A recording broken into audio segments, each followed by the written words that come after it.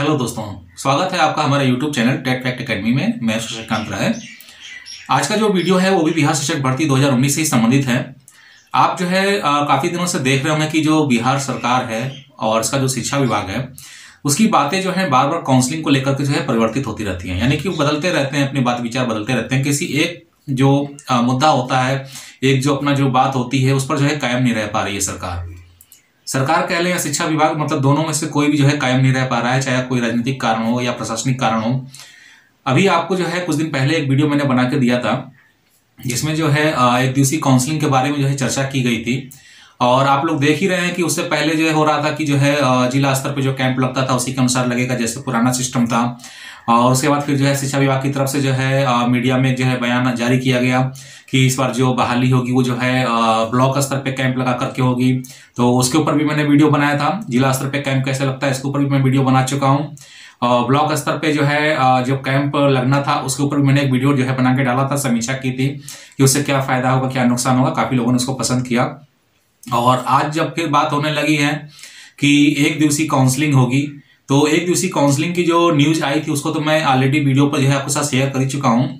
और यहाँ पर आज के वीडियो में मैं आपसे बात करने वाला हूँ एक दिवसीय काउंसलिंग के बारे में कि अगर एक दिवसीय काउंसलिंग होती है तो फिर जो है आप जो है किस प्रकार से जो है कैट में भाग ले सकते हैं।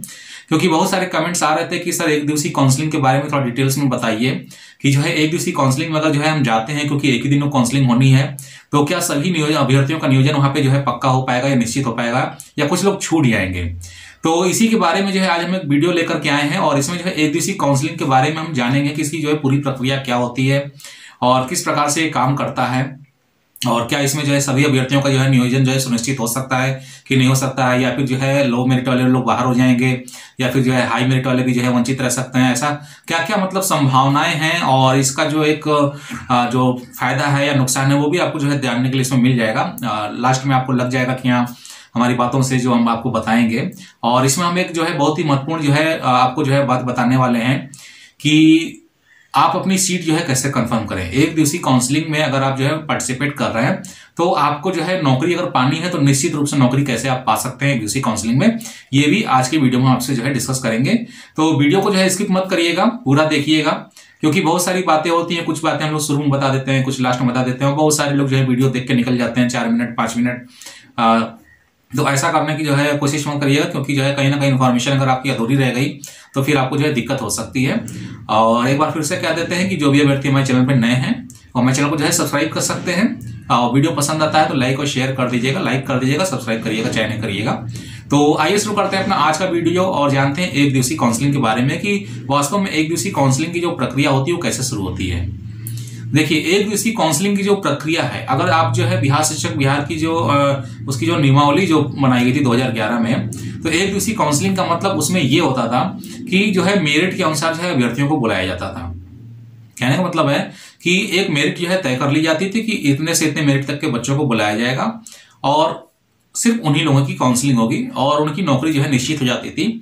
और यहाँ पर सरकार ने इस बात का भी ज़िक्र किया था न्यूज़पेपर में कि जो काउंसलिंग प्रक्रिया होती है, जिसमें अभ्यर्थी भाग लेते हैं और वही अभ्यर्थी जो है कई जगह आवेदन किए रहते हैं, इसलिए वो कह रहे थे कि हम लोग एक दिवसीय काउंसलिंग कराएँगे, ताकि वो अभ्यर्थी एक ही जगह का चुनाव करेगा और एक ही जगह काउंसलिंग में जाएगा और दूसरी जगह जो सीटें बचेंगी, वहाँ पर दूसरे अभ्यर्थी पहुँचेंगे, ऐसा उनका जो है तर्क था। लेकिन चूँकि एक दिवसीय काउंसलिंग का जो ओरिजिनल फॉर्मेट होता है, वो फॉर्मेट जो है क्या है कि आप एक मेरिट निश्चित करके अगर आप एक दूसरी काउंसलिंग बुलाते हैं, वो तो बहुत अच्छी मानी जाती है। लेकिन अगर आप कैंप मोड में एक दिवसीय काउंसलिंग लगाना चाहते हैं तो ये पूरी तरीके से जो है बिल्कुल बेकार है, बिल्कुल नकारात्मक भाव उत्पन्न करेगी अभ्यर्थियों के अंदर। क्योंकि इसमें जो है क्या होता है कि जैसा सरकार ये मान के चल रही कि मतलब एक अभ्यर्थी एक सीट पे जाएगा, ये तो बिल्कुल कंफर्म है कि एक अभ्यर्थी एक सीट पर ही जाएगा। लेकिन ये कंफर्म नहीं है कि वहाँ पर जो है हाई मेरिट वालों का होगा कि लो मेरिट वालों का होगा, ये कोई कंफर्मेशन नहीं रहती है। यानी कि ज़्यादातर जिनकी सीटें फिक्स होंगी, वही जाएँगे। ठीक है? देखिए, पहले तो एक चीज़ समझ लीजिए कि सरकार का जो एक दिवसीय काउंसलिंग कराने का जो फार्मूला है, वो ये मान के चल रही कि हम एक ही दिन में सारी सीटें भर लेंगे। लेकिन ऐसा होगा नहीं। क्योंकि जहाँ पर, देखिए, हर जगह क्या है? हर जगह जो है एक एक दो दो सीट है, कहीं चार सीट है, कहीं पाँच सीट है, यही है ना? और शिक्षा विभाग जो है कह रहा है, क्या कह रहा है? कि हम जो आयोजन करेंगे, वो कैंप मोड जो है, ब्लॉक स्तर पर लगाएँगे। तो अगर आप ब्लॉक स्तर पे एक दिवसीय काउंसलिंग का आयोजन करते हैं, ठीक है, जहाँ एक एक दो दो सीटें हैं, कैटेगरी वाइज या यूआर में अलग अलग कैटेगरी में जितनी भी तो सीटें हैं तो वहाँ पे अब आप सोचिए कि कौन अभ्यर्थी वहाँ पहुंचेगा। क्योंकि लो मेरिट वाले अभ्यर्थी तो ये मान के बैठ जाते हैं कि मान लिया कि हम तो अभी क्रमांक में बहुत नीचे हैं 500 क्रमांक 1000 क्रमांक। हम कहते हैं 100 क्रमांक तक भी होंगे तो अभी वो बैठ जाते हैं।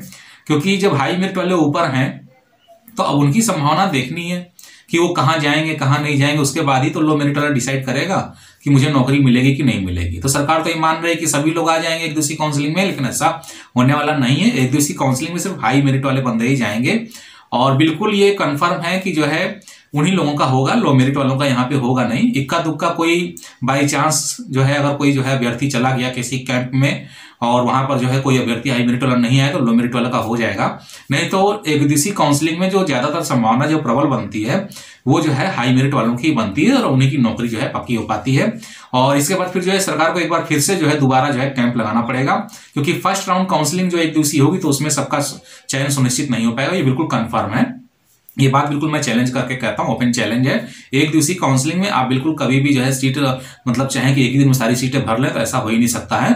आपको सेकंड फ़ेज़ थर्ड फ़ेज़ लाना ही पड़ेगा, ठीक है? क्योंकि आप देख ही रहे हैं 2011 से चल ही रहा है, ठीक है? आज ये जो है छठा चरण चल रहा है, क्योंकि शुरुआती जो काउंसलिंग हुई थी वो एक दिवसीय काउंसलिंग ही हो रही थी, उसके बावजूद भी सीटें एक दिन में नहीं भरी थी, क्योंकि ऐसा संभव नहीं है। सरकार सोचती कुछ है, होता कुछ है प्रैक्टिकल रूप में ऐसा संभव नहीं है कि एक ही दिन में सारी सीटें भर जाएँ। तो आइए अब बात कर लेते हैं कि एक दिवसीय काउंसलिंग में अपनी जो आप नौकरी की जो सीट है, जहाँ पर आप जाएँगे, वो सुनिश्चित कैसे करें? तो यहाँ पर ये जो वीडियो स्पेशली मतलब आपके लिए है, जो हाई मेरिट वाले हैं, ठीक है? तो आप लोग को ये देखना है, ठीक है? हाई मेरिट का मतलब ये मान के चलिए कि आप जो है, अगर अट्ठासी से मान लेते हैं तो अट्ठासी से लेकर के आप और नीचे अगर डाउन आते हैं सत्तर तक भी हम मान लेते हैं, सत्तर तक ठीक है, सत्तर तक मान लेते हैं, अट्ठासी से सत्तर परसेंट तक वालों को हम इसमें जो है शामिल कर लेते हैं एक दिवसीय काउंसलिंग में। उसके बाद के लोगों को मैं काउंसलिंग में शामिल नहीं करना चाहूँगा क्योंकि कोई फ़ायदा नहीं है। ठीक है तो अट्ठासी से सत्तर तक के जो लोग हैं वो एक दूसरी काउंसलिंग में जो है अगर जाना चाहते हैं और नौकरी पाना चाहते हैं तो बिल्कुल ये कंफर्म आप जान लीजिए कि आप उसी सीट पर जाइएगा जहाँ पर आपकी जो है कंफर्म सीट हो। ठीक है? यानी कि आपको कंफर्म सीट यहाँ पर दिखाई दे रही हो। आप मान लिया कहीं पे दस सीट है और उसमें आप आठवें नंबर पे हैं, नवे नंबर पे हैं या दसवें नंबर पे हैं या दो नंबर पे हैं तो वहीं पर जाइएगा और कहीं जाने का प्रयास नहीं करिएगा। आपको अपनी कंफर्म सीट पर ही जाना है, चाहे वो आपका जो है बाहरी जिला हो, चाहे आपका वो अपना गृह जिला हो, ठीक है? तो ये कोई मतलब नहीं, बिल्कुल अगर आपको नौकरी करनी है तो बिल्कुल ये कंफर्म मान के चलिएगा कि एक दूसरी काउंसलिंग में आपको उसी सीट पे जाना है जहाँ पे आपकी कंफर्म सीट आपको नौकरी मिल रही है। ठीक है? और इधर उधर की कोशिश करिएगा तो फिर कोई फ़ायदा नहीं होगा, फिर आपकी नौकरी जो है छूट जाएगी और आपको फिर सेकंड फ़ेज़ थर्ड फ़ेज़ का इंतज़ार करना पड़ेगा, जैसे हम लोग करते आ रहे हैं। तो आज के वीडियो में इतना ही कहना था कि एक दूसरी काउंसलिंग में जो भाग लेने का तरीका वो यही है कि आपकी जो कंफर्म सीट बन रही वहीं पे जाए, कहीं भी आपकी अगर वेटिंग बनती तो वहाँ पर ना जाए। तो उम्मीद है कि आपकी वीडियो पसंद आया होगा।